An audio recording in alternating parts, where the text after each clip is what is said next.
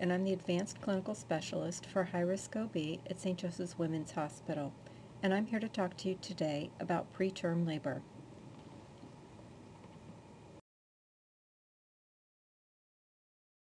Preterm birth is any birth before 37 weeks gestation.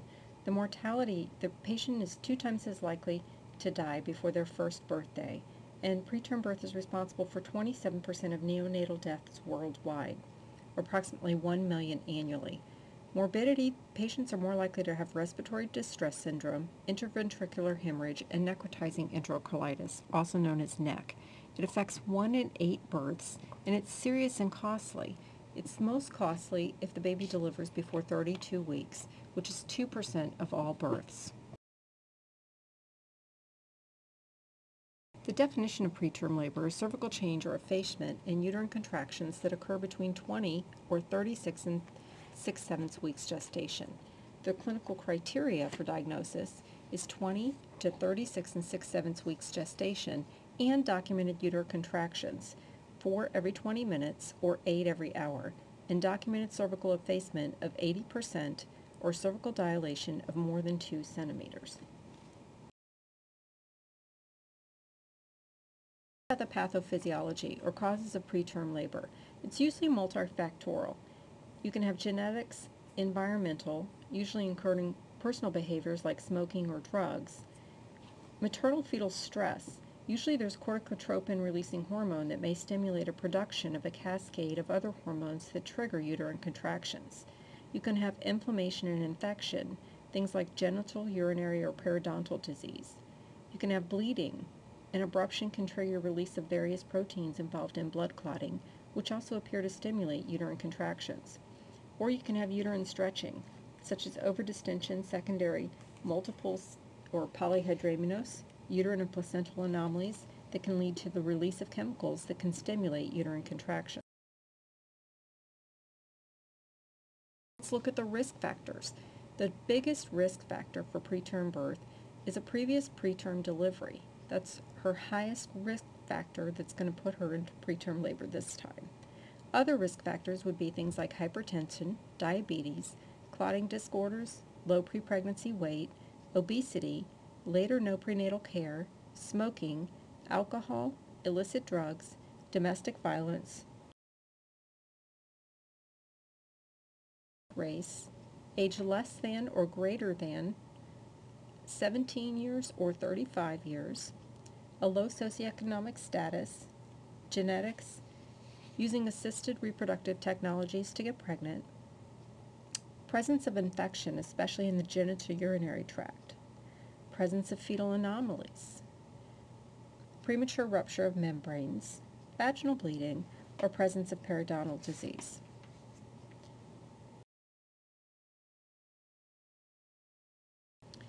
Signs and symptoms of preterm labor. You should consider the diagnosis of preterm labor until you rule it out. Any uterine cramping that's intermittent or constant. Uterine contractions every 10 to 15 minutes. Any low abdominal pressure or pelvic pressure. A dull low backache that's constant or intermittent. If the patient complains of an increase or change in vaginal discharge. If she's feeling that the baby is pushing down any abdominal cramping with or without diarrhea, any vomiting, diarrhea or increase in bowel movements from normal, or a change in pain levels or response to pain meds, especially if previously the pain meds were effective, but now they're not. Really, you just need to have a conversation with your patient if she's got the presence of any of these symptoms. Figure out what's going on with her. Maybe she has the flu, but maybe she doesn't. And you need to be suspicious that she's got preterm labor until you can absolutely rule it out.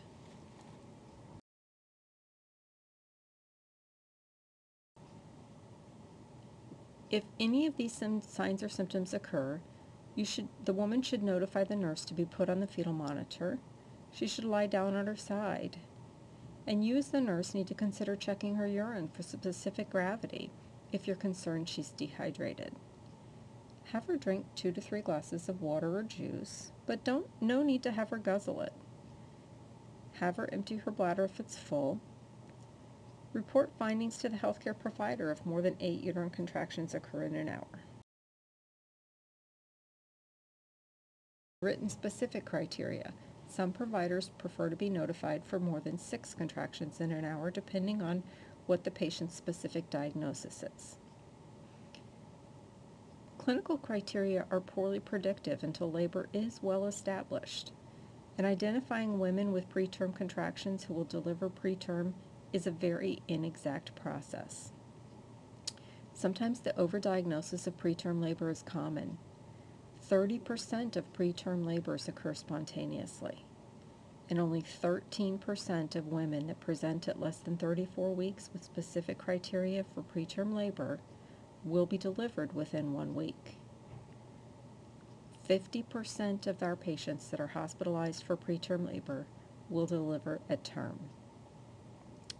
Less than 10% of the women with a clinical diagnosis of preterm labor actually give birth within seven days of their presentation.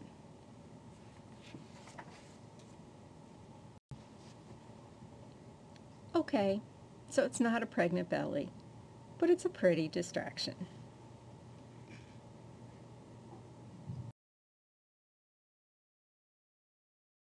Now, how should we evaluate these patients when they come to us?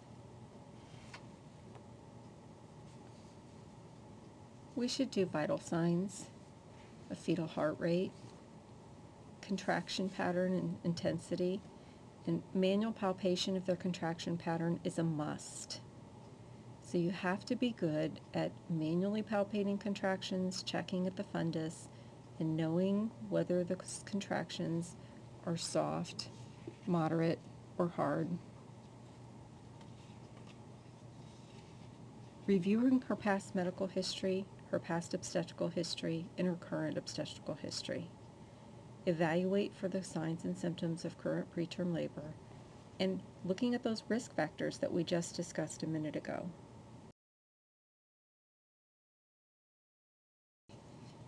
doing a speculum exam, which um, you may or may not have already completed the online training for that.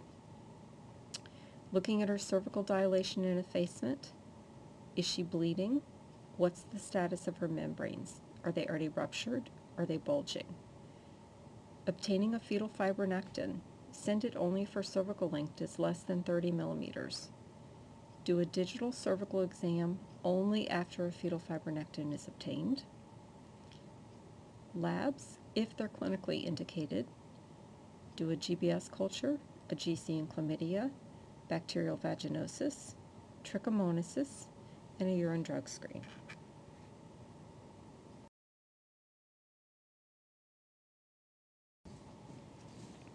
Ultrasound. If one is ordered, it needs to, you need to check for her amniotic fluid, where's her placenta located, where's the baby laying, are there any fetal anomalies or abnormalities? What's her cervical length? It's useful to support the diagnosis of preterm labor. Does she have a short cervical length of less than 25 millimeters? If so, before 28 weeks gestation, it's highly predictive of preterm birth.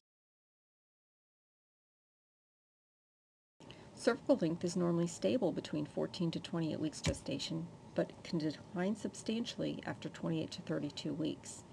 If it's below the 10th percentile at 25 millimeters, it's consistently associated with an increased risk of spontaneous preterm birth.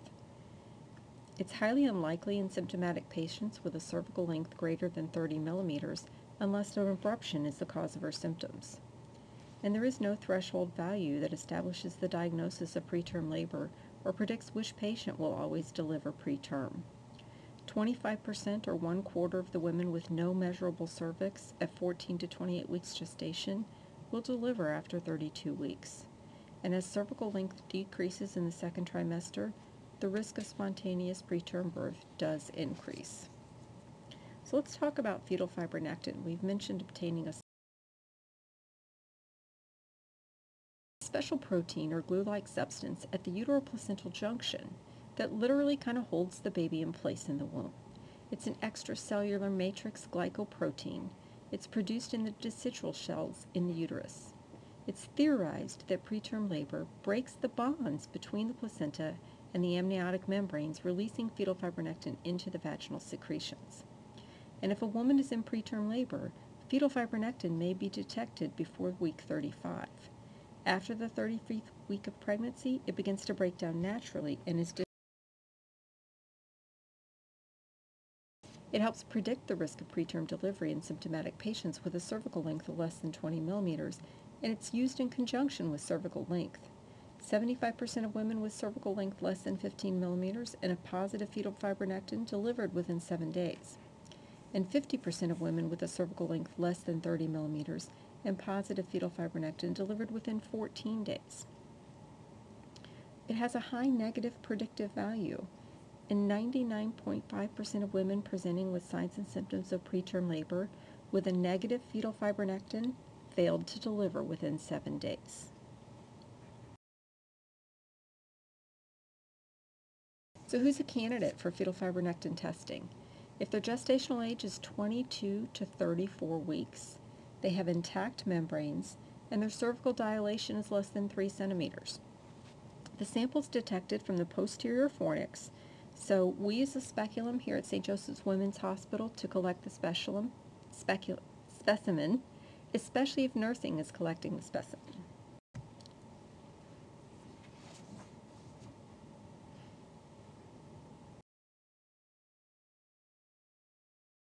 Prevention.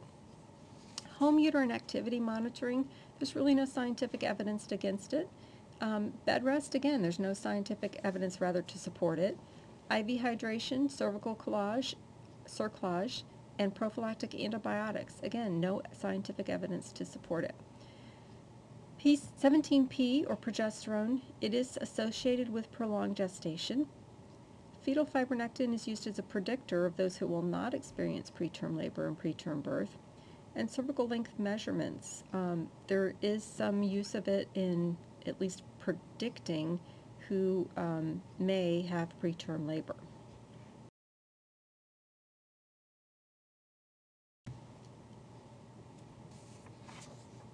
So tocolytics. They're given for 24 to 48 hours in order to allow time for antenatal glucocorticoids to help mature the fetal lungs, but all tocolytics have major Let's look at terbutaline first. It's a beta agonist. It has an off-label use. It works by relaxing the smooth muscle, which decreases or stops uterine contractions. It rapidly crosses the placenta.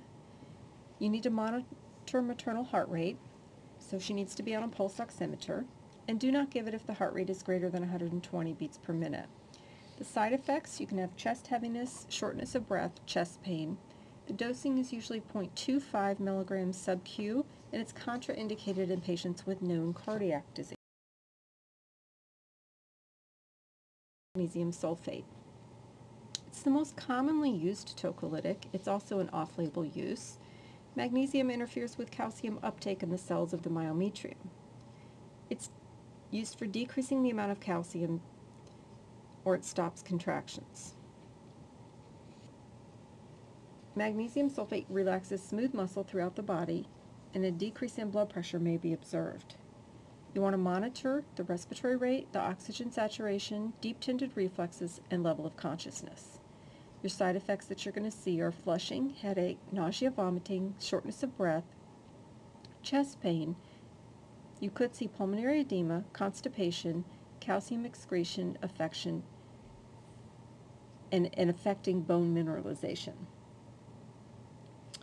Normally it's administered with a 4 to 6 gram loading dose and a 2 gram maintenance. Some, dose, some places are using Procardia or nifedipine, as we are on our unit. Causes the myometrial muscle to relax by interfering with the movement of calcium into the calcium channels. The fetal side effects, decreased uteroplacental blood flow, fetal hypoxia, and fetal bradycardia. There is a potential for fetal tachycardia. Maternal side effects, tachycardia, palpitations, headache, facial flushing, ankle edema, hepatotoxicity should not be used in cardiovascular compromise, intrauterine infection, multiple pregnancies, maternal hypertension, or cardiac disease. Your dosage initially 10 milligrams, then 10 to 20 milligrams every Indocin, or indomethacin, is a prostaglandin inhibitor. The fetal side effects, it may cause premature closure of the fetal ductus arteriosus, increasing the risk of fetal pulmonary hypertension. It also impairs fetal renal function, which may result in oligohydramnios. Your dosage initially 50 milligrams, then 25 to 50 milligrams every 6 to 8 hours. Limited to 48 hours and less than 32 weeks gestation. You want to watch for hyperbilirubinemia in the neonate. Hang in there, you're doing great.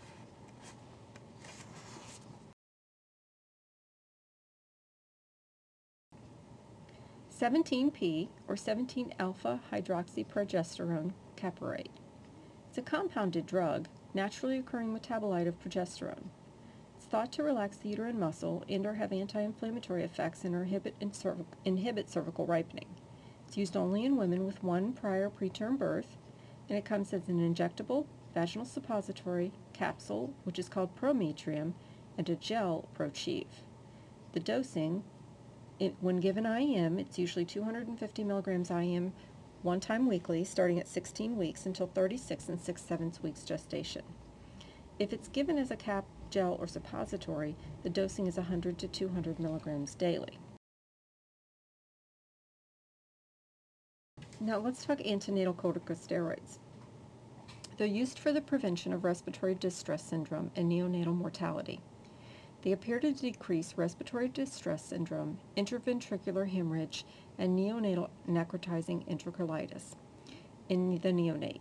They may cause decreased birth weight and head circumference if given over long periods of time or in multiple series, which is why we don't do that. They should be administered to all women at high risk for preterm delivery unless delivery is anticipated within one to two hours. And they should not be withheld if delivery is anticipated prior to completion of the full course. Given between 24 and 34 weeks gestation with signs of preterm labor. The neonatal benefits accrue within six to eight hours of administration, and the effects last for up to seven days. Corticosteroids, there's two options. There's betamethasone, which is given as 12 milligrams IM every 24 hours times two doses, or dexamethasone, which is 6 milligrams IM every 12 hours times two doses. Betamethasone, you want to watch your baby for an increased baseline, decreased variability, and decreased accelerations. And it actually can affect your BPP, decreasing your score overall.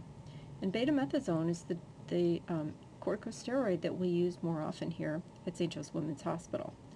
Dexamethasone, on the other hand, does not appear to affect the fetal heart rate characteristics. Now, you can give a rescue course of antenatal corticosteroids, which is a single course of steroids that should be considered in women whose prior course of antenatal corticosteroids were administered at least seven days previously and who remain at risk of preterm birth before 34 weeks gestation. Now, regularly scheduled repeat courses or multiple courses, more than two, are not recommended because of the previous um, thing that I mentioned where it can cause a decrease in um, birth weight and head circumference.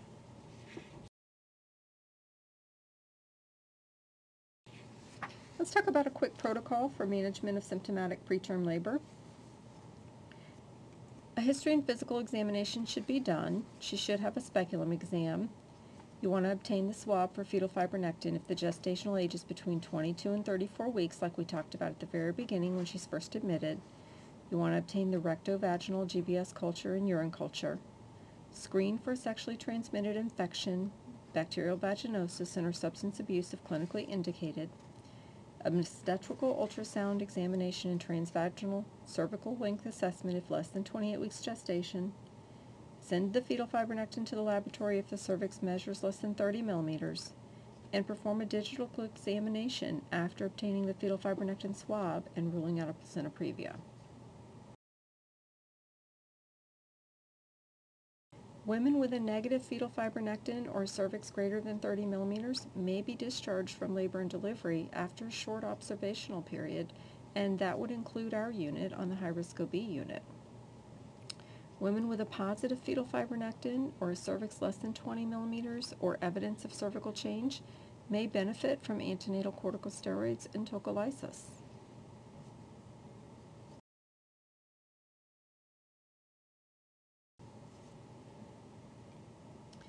And they should receive betamethasone 12 milligrams IM every 12 hours for every 24 hours for two doses. Indomethacin 50 milligrams oral loading dose followed by 25 milligrams orally every 6 hours for a total of 48 hours before 32 weeks gestation, or nifedipine 30 milligrams oral loading dose followed by 20 milligrams orally every 6 hours for a total of 48 hours after 32 weeks gestation, and GBS prophylaxis if appropriate.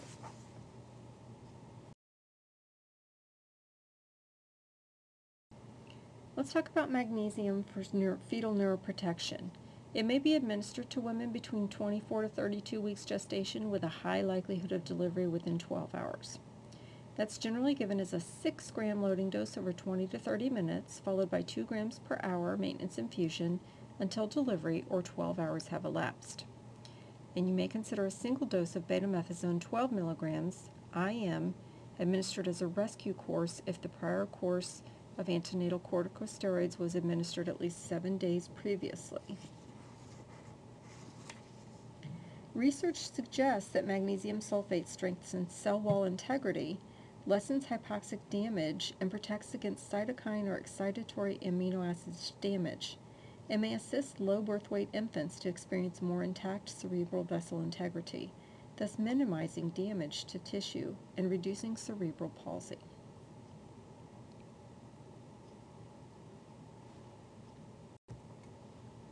Thank you for your time and attention to this lecture on preterm labor. Hopefully it has helped you feel more prepared to take care of our patients who will be visiting us on the high-risk OB unit in preterm labor who might be receiving continuous fetal monitoring.